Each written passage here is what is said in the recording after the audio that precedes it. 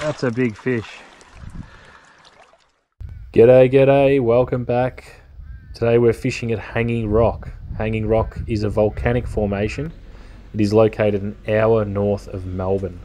There's plenty to do at Hanging Rock, and there's lots of native wildlife, including birds, koalas, and kangaroos. Hanging Rock has its own discovery centre. It's full of useful information about the area, prehistoric life, the original inhabitants of the area, and its rich volcanic history. Hanging Rock was created by the eruption of thick lava through a narrow vent in the bedrock. There's actually a spooky little story surrounding Hanging Rock. In the year 1900, two girls and a teacher went missing. The teacher returned and the girls were never found. The teacher had no recollection of what had happened to her. Now, onto some positive stuff. There is a summit walk, a base walk, and a creek walk, and also a playground.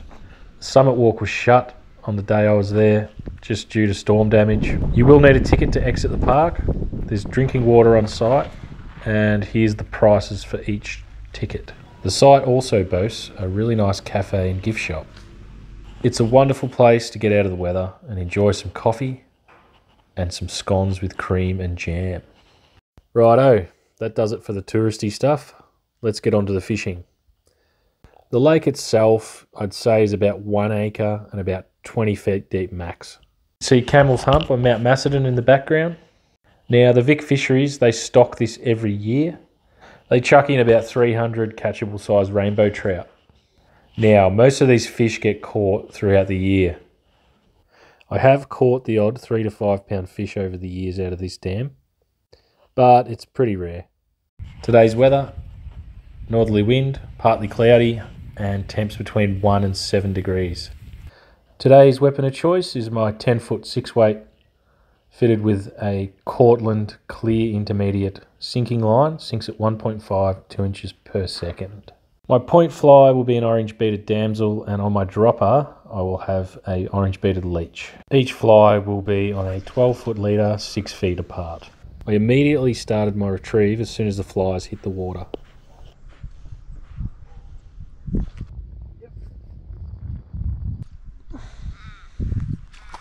Oh, this is a good one.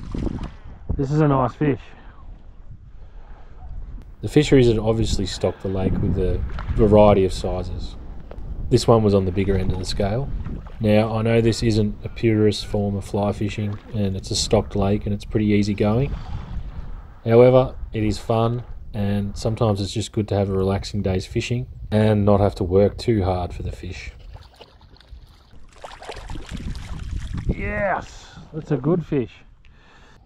Give you guys a look at that. That one's going in the smoker.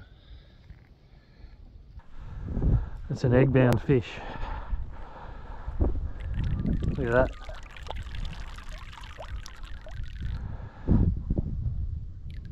So, the bag limit on this lake is two fish per person.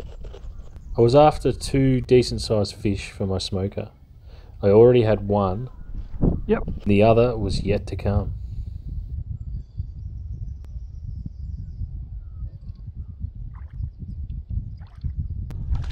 Oh, it's another good one. There are a few good ones in here. Seem to be onto them. This one wasn't quite the size I was looking for. It did come close though. The real keeper is the last fish in this video.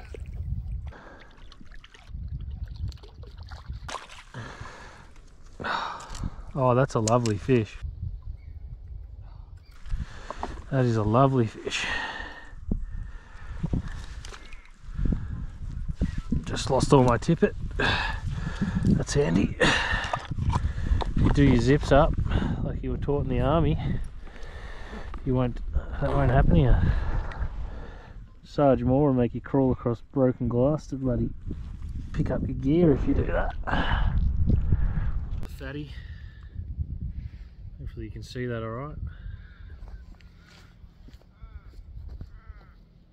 Off he goes.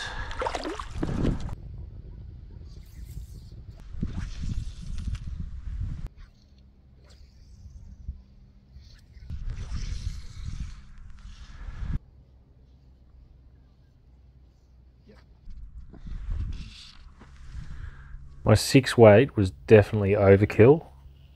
However, the extra casting distance is handy and my five weight still hasn't been fixed.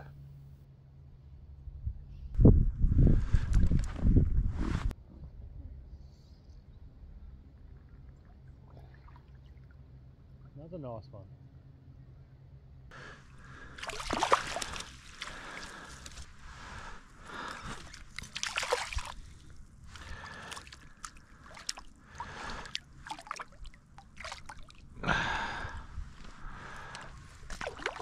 Got a bit of a mix up here, struggling. Got him in the gills. There he goes. Off he goes.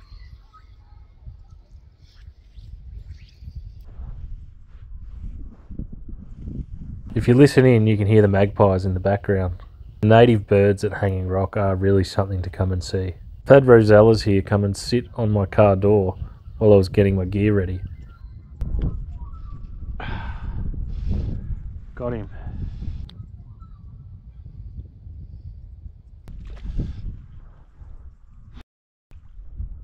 As you can see in the bottom left corner, the temperature didn't rise much all day. I didn't mind though, because I was catching fish.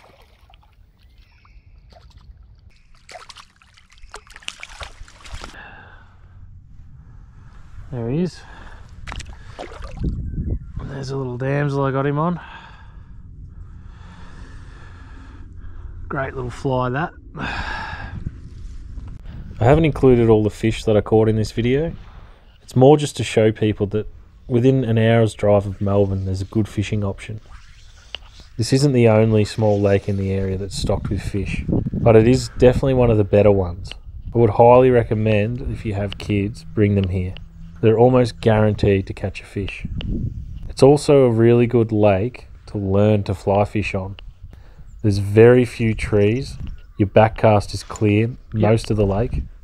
And let's face it, you can throw nearly any fly you want at these Nice. fish and they'll eat it.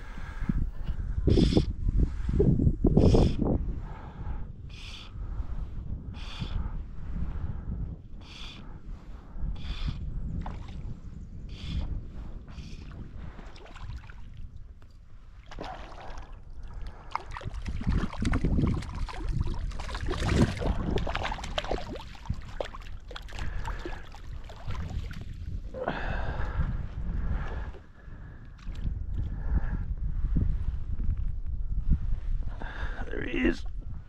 Beautiful. They're good size. The temperature's crept up a couple of degrees, but the wind also picked up with it. I used it to my advantage and fished parallel to this bank. Yep. There seemed to be a good number of fish not too far out.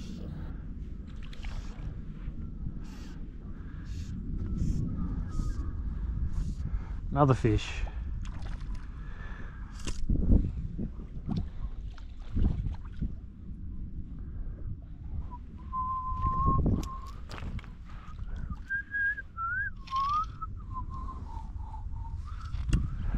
Took the gold humongous. Oh yeah, forgot to mention, I changed to a humongous.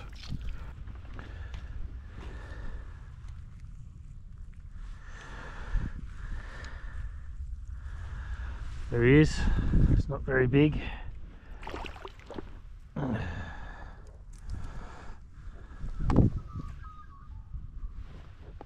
Alright, let's get it back out there.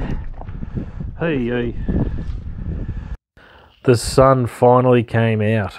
This pushed the fish slightly deeper in the water column. I now had to count down 10 seconds to get my flies to the right depth. I also changed my dropper fly to a One. Diawl Bach. Diolbark means little devil in Welsh. Two, three, four, five, six, seven, eight, nine, ten. Yep. Diawl Bachs definitely live up to their name. If you don't have any in your fly box, I recommend getting some. They're also pretty easy to tie.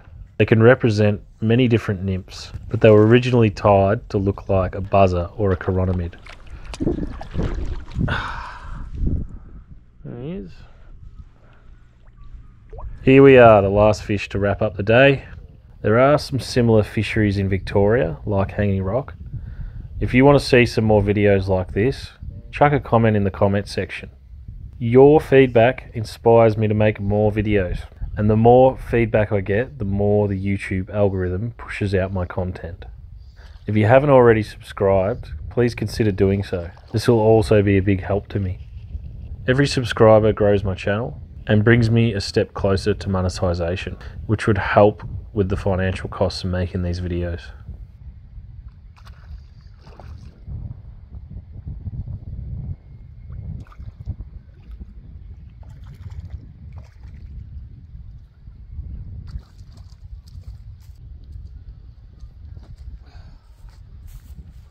There he is.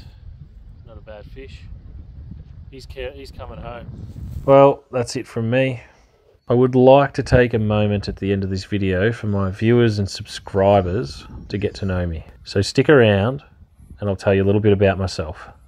I'm a family man. I married a Filipino and I've got two half Australian, half Filipino kids who are absolute joys.